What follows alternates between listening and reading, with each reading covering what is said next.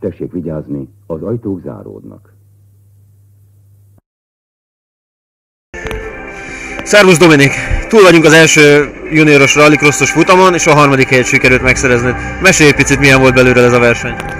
Hát elég nehéz, meg nagyon erősek voltak az ellenfelek, meg hát azért nehéz is ez a pálya. Hitted volna az elején, hogy ennyire közel leszel az elejéhez? Nem hittem, még azt hittem túl fiatal vagyok. És ez a pálya jobban tetszik neked, mint Nyírád, vagy mint Kakucs? Igen, jobban tetszik. Volt itt komoly küzdelem, azért volt itt csattanás, autógörbülés, ez milyen volt belülről? Hát széttört a karosszériám egy picikét, meg ütköztünk, de hát nem történt nagy baj. Nem ijedtél meg közben? Nem. Na, gratulálunk, és akkor így tovább. Köszönöm szépen. Köszönöm én is.